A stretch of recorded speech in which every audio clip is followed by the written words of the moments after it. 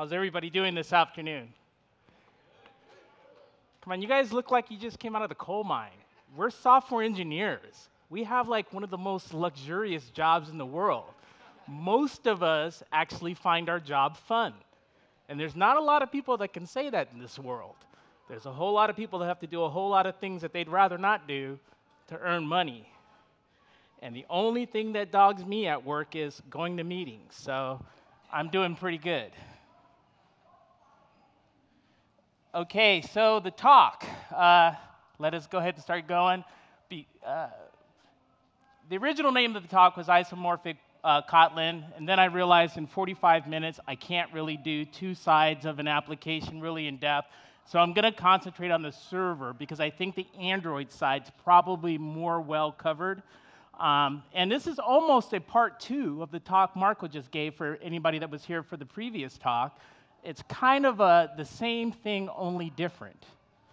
So, who the heck am I? Um, whoa, see, the, it, things go too fast. Whoa.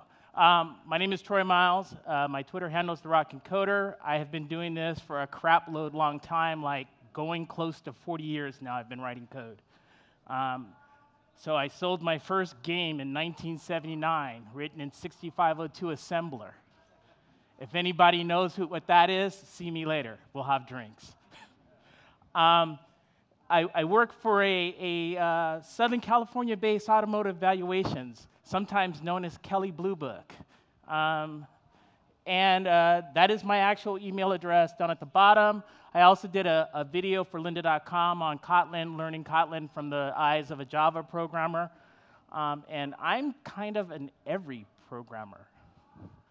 As my wife could testify, I seem to spend almost all of my time writing code of various flavors. So I don't know too much about what's going on on TV, I don't know what the new hip group everybody's listening to is.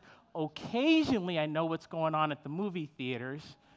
And I know when playoff season is for most major sports, and that's about it. Um, the code that I'm going to show you today is going to be here at uh, GitHub at rockncoder slash RK1 for Ratpack Kotlin 1. Um, that's where all the source code as it is right now. So if you go there and you download it, you know, you'll see what I see. So a lot of the data that I'm going to show you today is coming from fueleconomy.gov. I'd love to show you more stuff like uh, the data that we use at Kelley Blue Book, but unfortunately, it's proprietary. and I, that's how I make my money, so I'm not giving away the family jewels. Um, but fueleconomy.gov they are the official source of government fuel economy. So not only does Kelley Blue Book use it, pretty much all the different automotive websites that show you MPG um, are using that source of data. Um, unfortunately, it's government data, and their, their, their data is not that clean.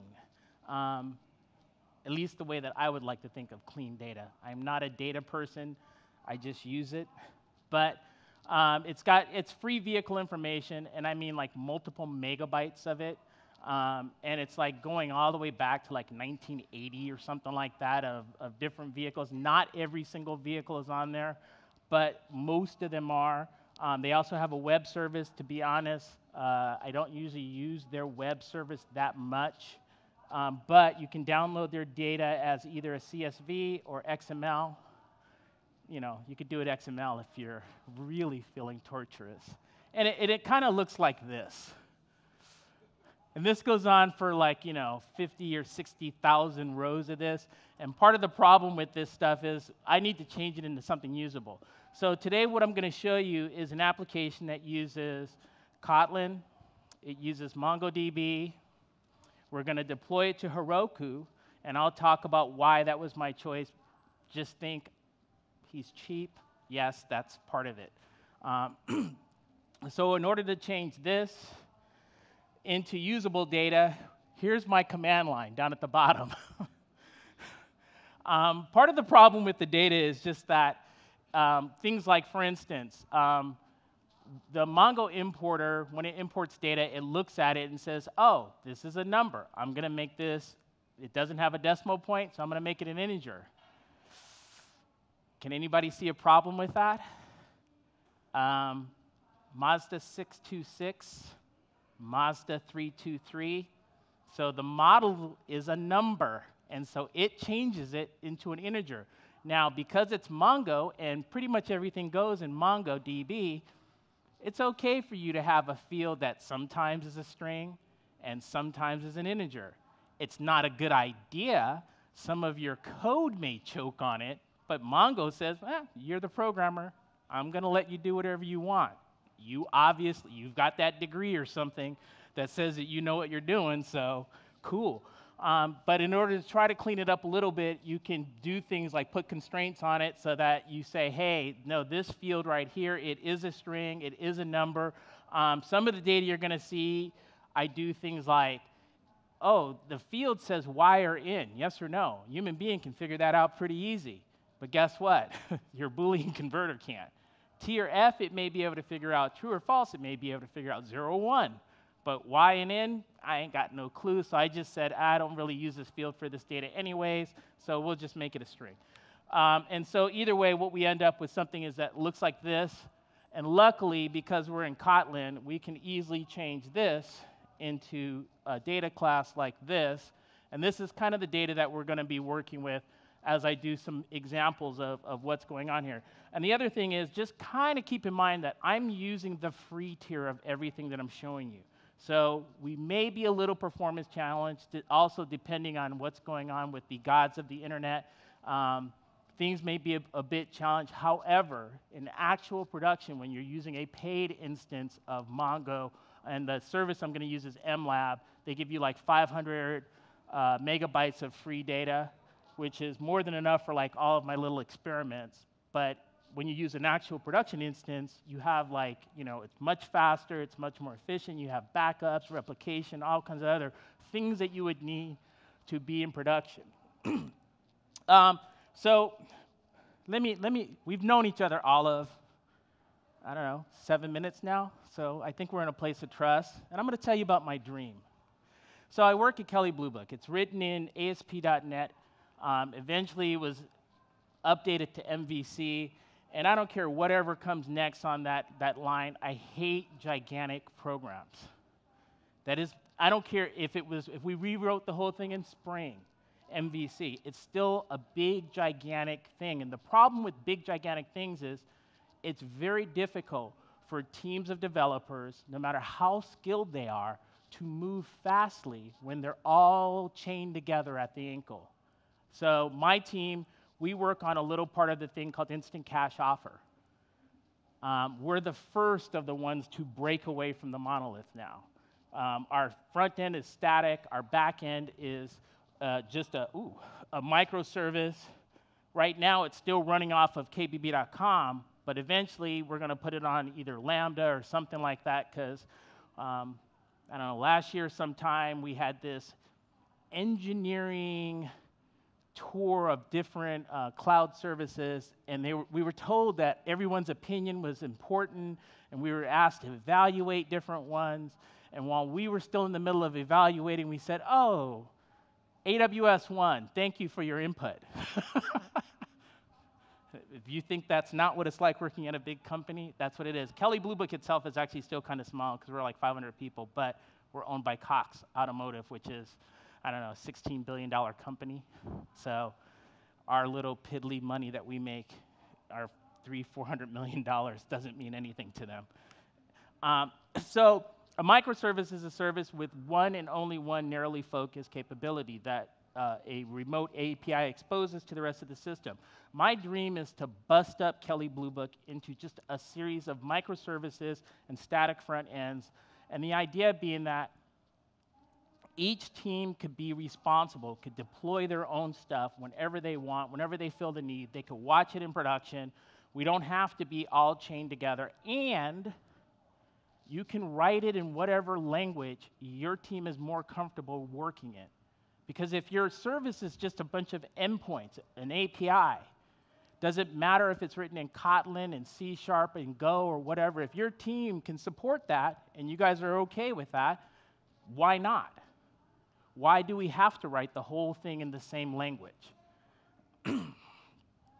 It's a dream. It's going to take a long time. Like I said, my team is the first one that actually have busted a piece off, and we're still trying to figure out all the little mechanics of how that's going to work out. But let's talk some more about this. So the idea of a, of a microservice is just that. Now, back in my day, God, I feel so weird saying that. I feel like my grandfather, except without the charm, because he was very charming, and I'm just kind of plodding along.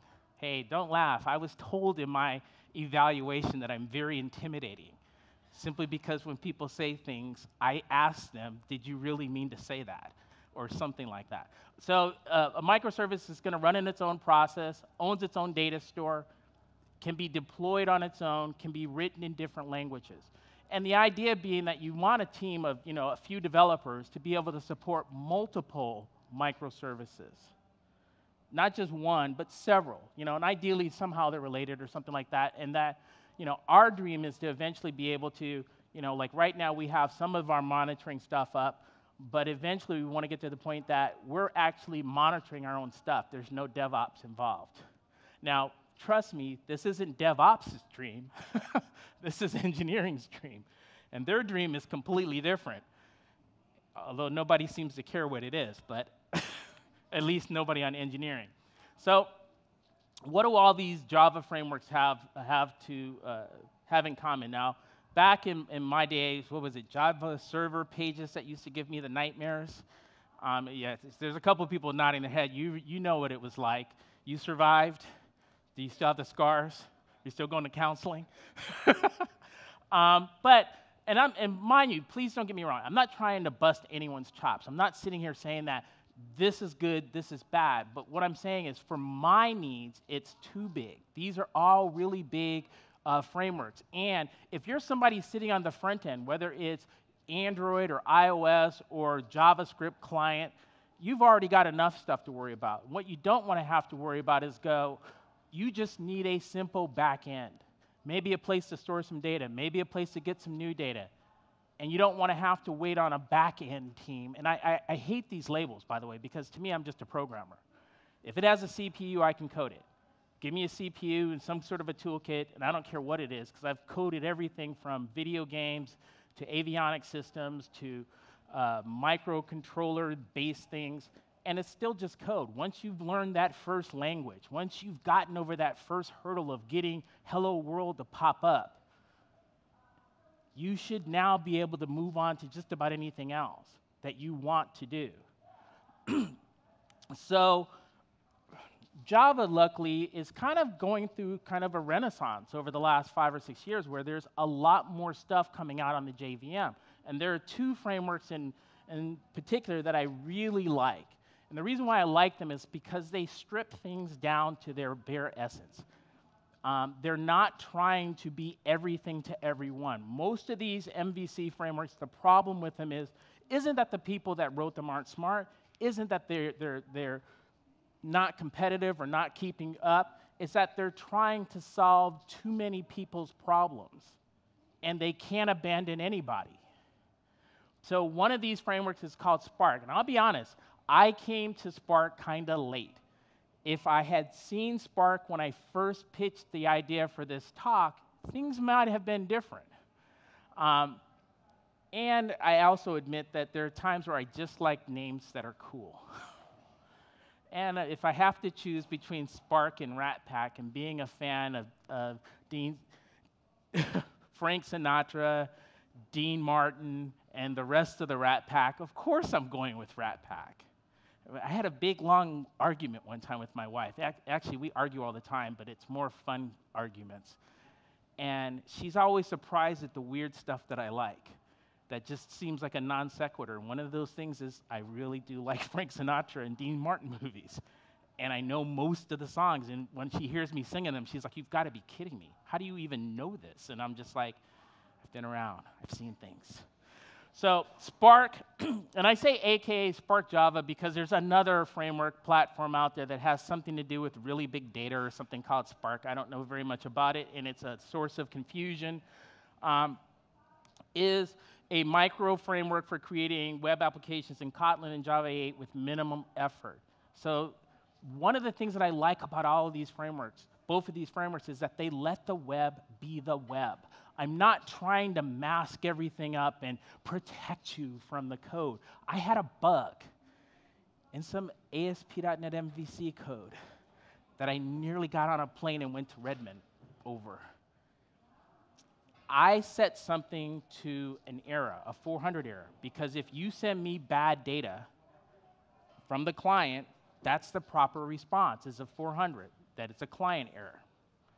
And I also put a message in the body to help figure out what the problem was.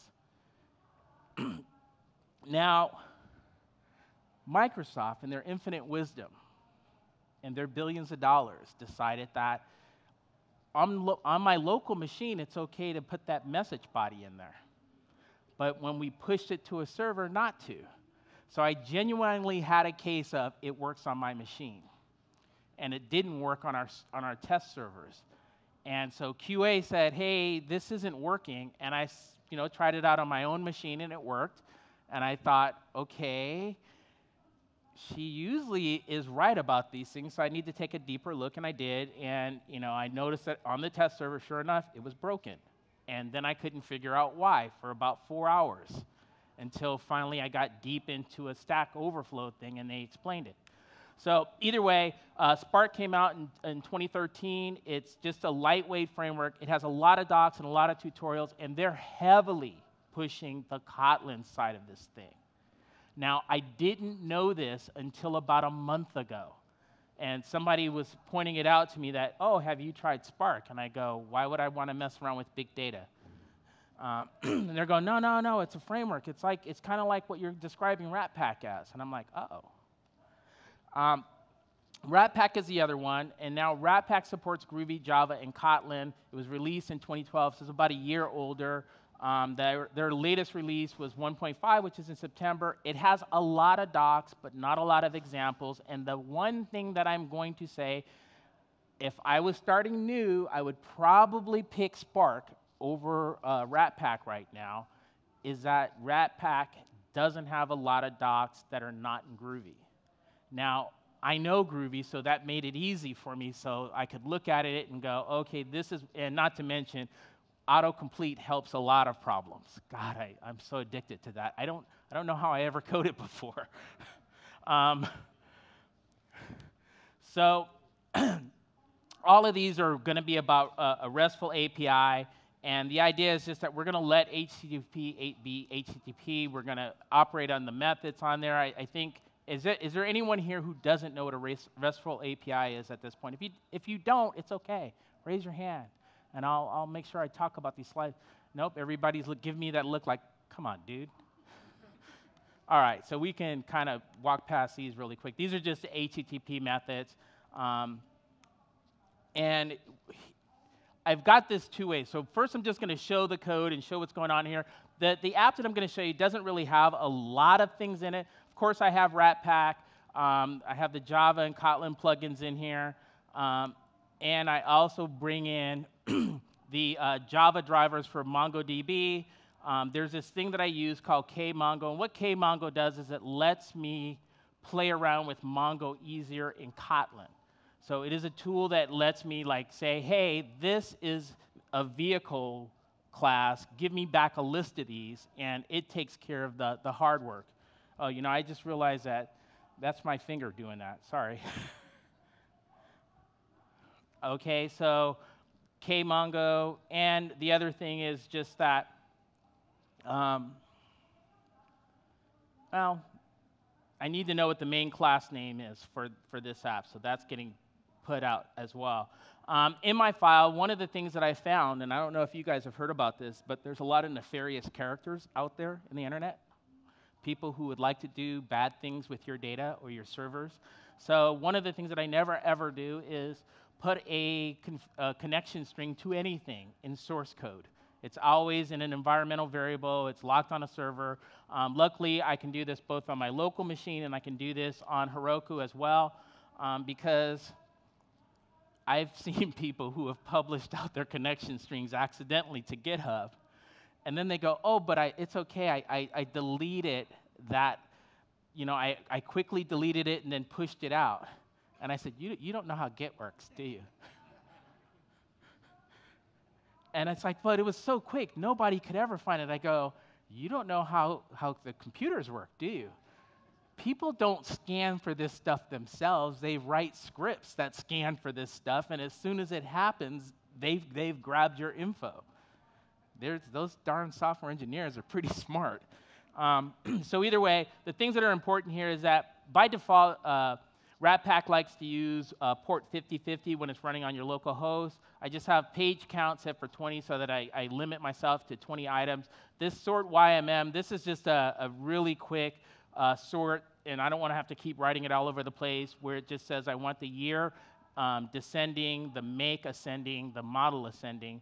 Um, and then I've, uh, I've got an environmental variable called MongoDB connection, and this is my MongoDB connection string to MLab. So I'm pushing all my data up to MLab. Just in general, I don't like to run databases on my own box. I, I, know some, a lot of people do, and I, and I could see the appeal of it, but I just hate the idea of something sucking up memory and doing a task constantly. You know, I know Mongo you started, but either way, it sucks up memory. um, my database itself, here's the connection. It's super simple. There's not a lot going on here. I'm not trying to get really fancy. I just want something that works. And so I finally have a reason for a singleton. Since there can only, only I, have got one database and one connection to it, here's a need for a singleton. And in this case, the only thing that it's doing is it's pulling in from my environmental variable the connection to get uh, to connect to it. It's creating a Mongo URI, then it creates the client, and then it does a get database and it fills uh, that variable database with it. Um, I probably should do something to handle the exception.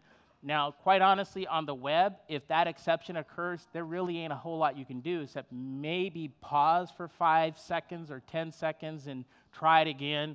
And either way, that kind of code gets too complicated for a 45 minute demo. The function down at the bottom is just going to get my collection of vehicles. Now, keep in mind that this call right here does not transfer data. It is just sort of a theoretical connection. Until I issue an actual query, Mongo's not doing anything. um, here's a really quick, dirty, stupid, um, pointless but I'm still going to show it to you. Hello type world app for Mongo running on the server, running on your server. And all it's going to do is if you hit the, the local host, it's going to say, hey, hello world. If you hit it with the, at, from the local with a slash and then a name, it's going to print back, hey, hello, whatever your name is.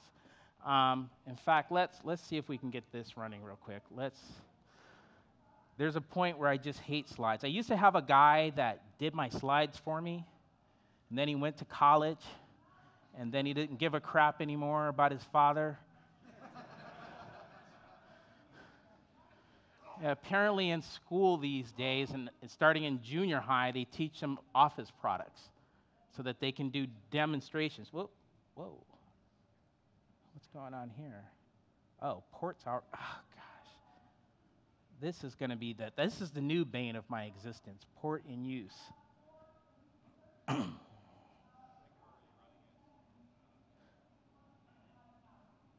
Yeah i didn't think that i was though so that's the fun part. This is how often i have to do this that i, I it's still in my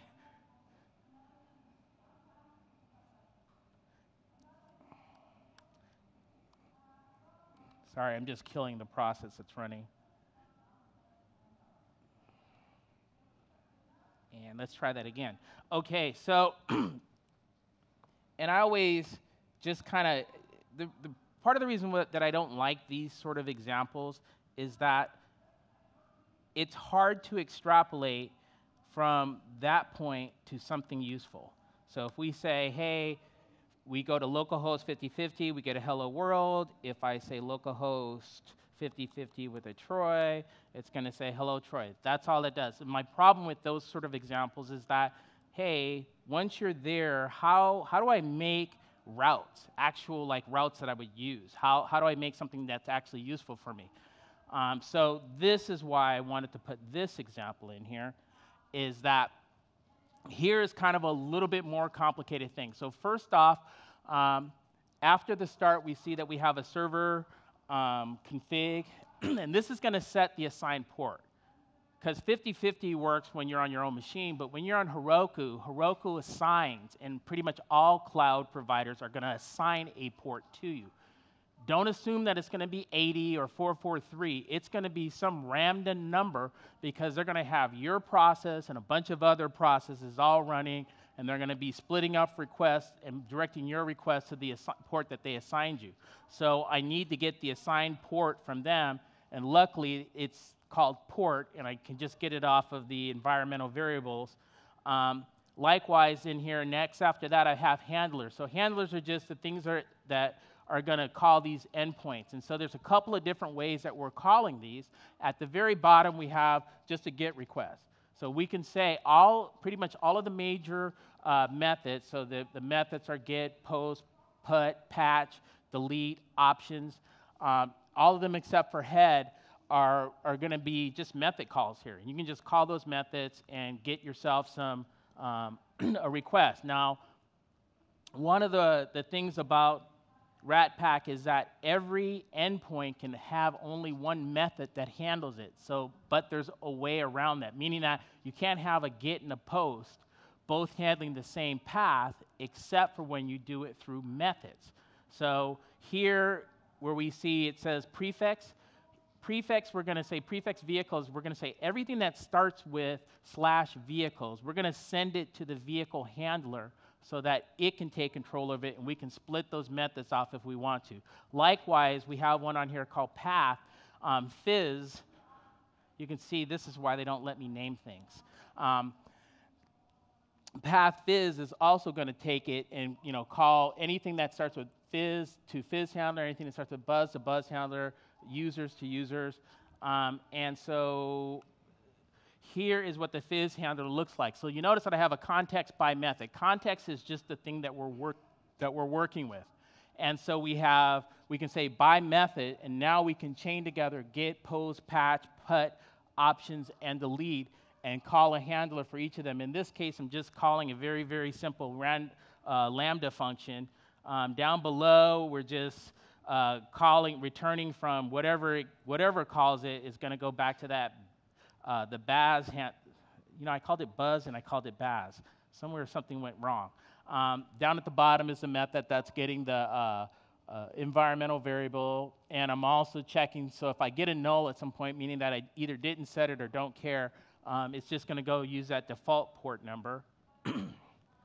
so here, if I say fizz we can see that it's saying hello from Fizz. If we wanted to do something a little bit more because I can't, I can only do gets from the command line, but I can do a post from there, and I can get an error. Wait, what the heck? Method not allowed.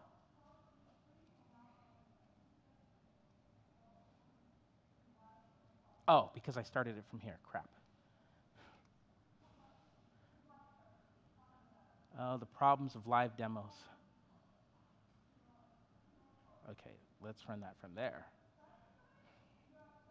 Okay, so here, now we have the post. We can also do the delete. So we can get, we can pull out all those methods. And depending on the kind of data that you're working with now, normally speaking, at Kelley Blue Book, I only work with read-only data. I mean, we're not updating methods. Um, most of the other data that we're taking in, because, I mean, we, you know, like public opinions, those actually go off to a different service that does like, you know, when you want to do a rating, a review of your car, like, hey, I got the Toyota Camry. It's the best four-door sedan that looks really plain that I ever bought in my entire life. I love this car. That's, that's handled by somebody else. We're not taking care of that data. but let us continue.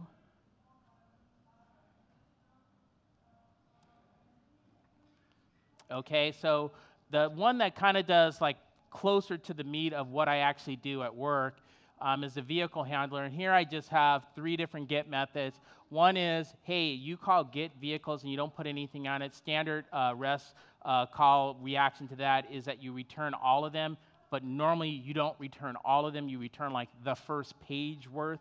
Um,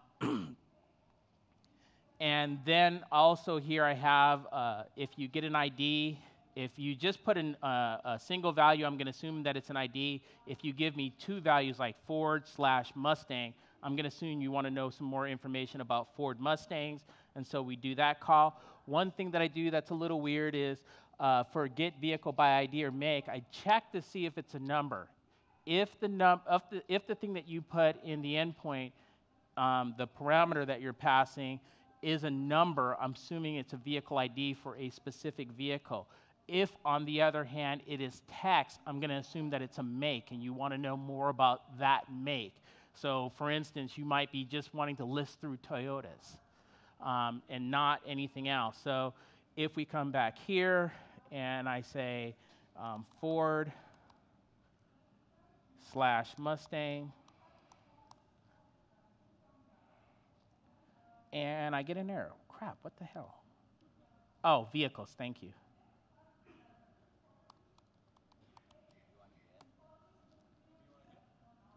Yes.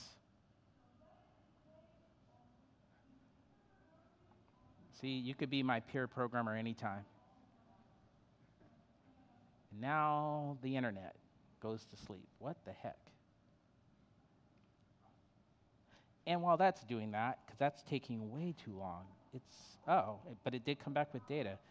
I'm sorry, I'm actually going through my phone here because I don't trust the, the other thing. But you can see we got a bunch of Ford Mustangs. Here's all the way. The first one is 2017, and the 20th one would be uh, 2014 uh, Mustang and there's you know some information about it. There's its city mileage, its combined mileage. Somewhere in here is its highway mileage, is I guess 30 miles, 30 miles per gallon.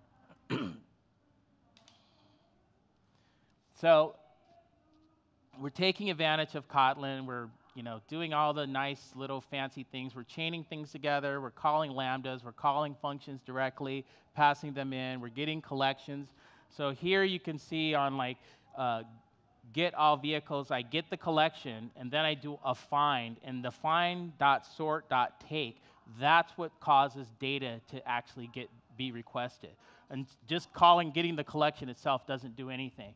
Because every now and then, because different languages and different database technologies do things differently, when people see that get collection, they're like, oh my God, are you like getting all the vehicles? And I'm like, no, no, no, calm down. That's not it. Um, either way, here's the get by make get by model. And all of these things, I'm doing a sort and I do a take, and I can also do a skip. So I have some functions that you guys aren't seeing yet, and the skip and take allow me to do paging. So probably what I would do is something like, hey, every time you call me, you know, the first time I'm going to give you the first ones, and then if you call me with like the counter, something in the head, um, the, the header of this uh, request that says, hey, give me the second page, then I'll give you the second page, the third page, fourth page, because you can just keep track of the page yourself. This is not all implemented in here, but I think there's enough to get the point. Everybody's looking at me like, hmm, I don't know, Troy.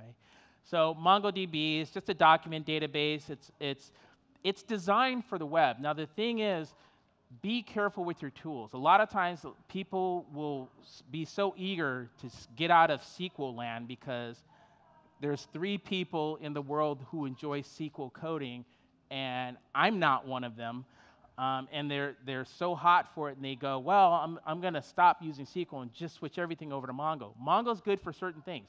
It's good for things where, for instance, you don't have a fiduciary responsibility. Like, for instance, if I was doing anything with a lot of money, especially like, say, cars or houses or something where I'm doing the transaction online and I need to keep track of it, I need to keep records, I'm not using Mongo. I already know in SQL, it's going to keep a transaction log of everything that I do. And that transaction log actually will hold up in court about, like, hey, here's when this transaction took place or didn't take place. Um, I'd be really careful uh, about switching things because if you switch to Mongo and you don't have that transaction log, I'm sure they probably have something similar now because that was one of their big people's big gripes about Mongo when it first came out. But on the other hand, if what you're doing is tracking photos of adorable kittens and you lose a kitten, who cares? and don't please don't call Pete on me. That's just a joke. Sometimes they don't fly right, and people take it the wrong way. Um, but either way, it's high performance, high availability. And the thing that I kind of want you to, except for that first call, and just kind of keep in mind that when we're doing this, I'm again running on just uh, the low cost, free tier of things. So we're not fully high performance, but I got like 1.47 seconds off of that. It's, it's really small, but it's right there in the upper corner. I've seen it when it, everything's primed and running fast, you know, down to like 200, 300 milliseconds. It could on the prod stuff, I get it down to 50 or 60 milliseconds, which isn't bad. It's, it's, I, still would, I still want more because until it says one millisecond or less, you know, there's still some more to be squeezed out of it, but you know, some more better indexing, a few other things, maybe we can get a little higher. So either way, it's a document database. And just think of a document as a JSON database. You know, they call it BSON, which is binary JSON, but it's, it's, it allows you to store a bunch of different things in it. I mean, it's the number five, the fifth most popular database engine in the world, and that's as of last month. Um, you know, Oracle, is still number one and will probably be for the rest of our lifetimes because um, Larry Ellison doesn't have more money than God for no reason. what's the joke? Uh, what's the difference between God and Larry Ellison? God doesn't think he's Larry Ellison. He's probably going to show up with that darn katana sword. I, I don't register on his uh, thing. So if you're used to SQL and you're looking at Mongo, you're not like, what's the difference? What's going on here? Troy, it's really confusing. Um, just keep in mind that, hey, we've got columns, we've got fields, we've got rows, we got, for rows, we have a document, for a table, we have a collection. Okay, I seem to have lost sound. Hello? Hello, hello? Okay, you got me now? No? Can't hear me? Can you guys hear me? No? A little? You want me to shout some more? Oh, okay. And the sound seems to be back. I, I don't know. Because um, I can definitely shout. um, either way, so that's the sort of the quick translation. Quick CRUD operations are going to be insert, find, update, and remove for uh, delete, update, read, and create.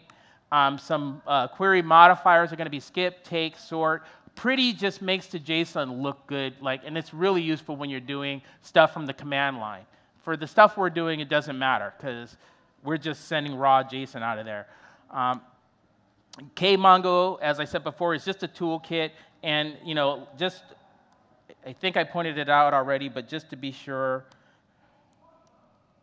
Oops.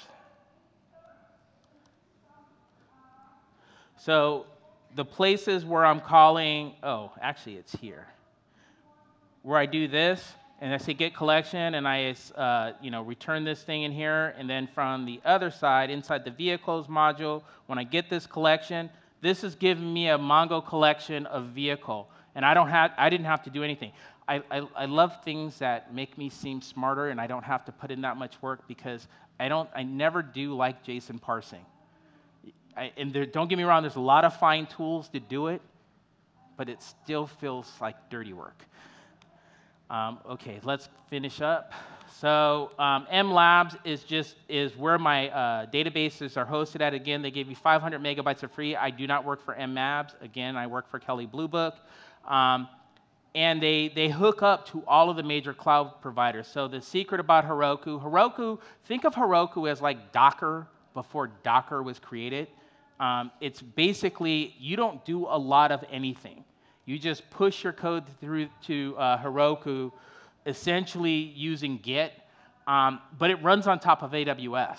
Um, and MLabs talks to AWS, to Google, to all the other cloud providers. You can put your stuff up there because essentially with Mongo, because you're actually using like a URL to talk to the database anyways, you can put your database wherever you want so long as it's accessible over the web. Um, and it's much easier to let somebody else do that dirty work. Um, and so right now, Heroku supports PHP, if you're into that kind of thing, uh, Python, Node.js, and Node is Node is the gun which you will shoot yourself in the foot with. Think of it that way. Because there are very few people I know that go from a dev instance of Node to a production instance of Node and don't manage to shoot themselves in the foot because it works so well on your machine or in your dev servers, and then they forget how it works, that it's single threaded. And so they'll put one instance of Node, you know, talking to like eight instances of ASP.NET or, or Spring MVC, and they'll go, I don't understand why the node keeps locking up. You don't know how computers work, do you? Um, Java, Scala, and Go, and it also supports Kotlin. Um, and they actually even now have their tutorials in Kotlin that'll walk you through the process of doing like a hello Heroku app on, on uh, Heroku, uh, hello Heroku app in Kotlin um, and walk you through the whole steps. So, you know, they're, they're definitely, you know, behind Kotlin. They, they're definitely in favor of it. You get a free developer account. And that developer account, you can put, you can spin up as many websites as you want, but they're all running in like this single instance. So this is like super great if you're the kind of person like me that doesn't know how to turn off his computer, doesn't seem to realize it has an off switch, um, and you know do other things for a while, and you want to spin some stuff up, or maybe you're doing some stuff on the side.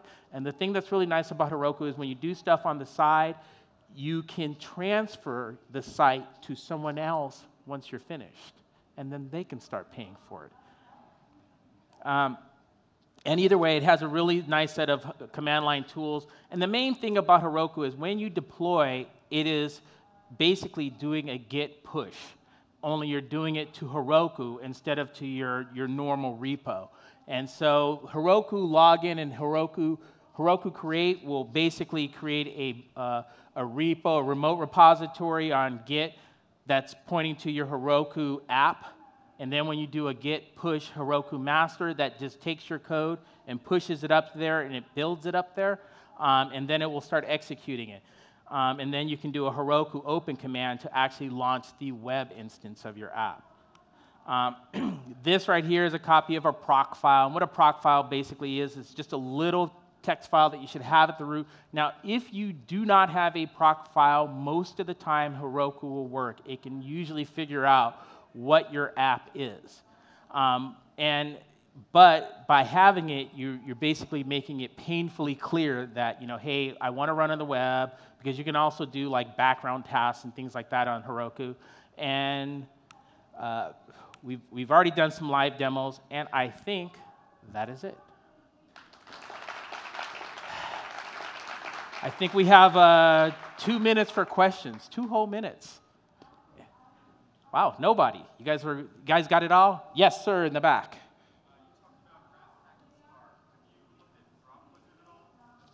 I have not. So see, this is why I love coming to these things. I and you said what what kind of wizard? Drop wizard. Drop wizard? Huh. No, I have not. And that's another microservices kind of framework.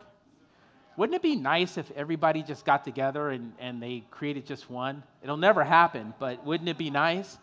Hold on, I want to do one shot of you guys. Say hello. Say hello. Say hello. If I can remember how to work my camera. Ah. Um, anybody else? Okay, well, again, the code is out there. My name is Troy Miles. I go by The Rockncoder on Twitter. My actual email address is rockncoder at gmail.com. If you write me, I promise I will answer back. However, I will not help you with your homework, your project, or whatever else, unless, of course, there's money involved. I do this for a living. Uh, either way, you guys have a nice rest of the conference. Thank you again for showing up, and it's been fun.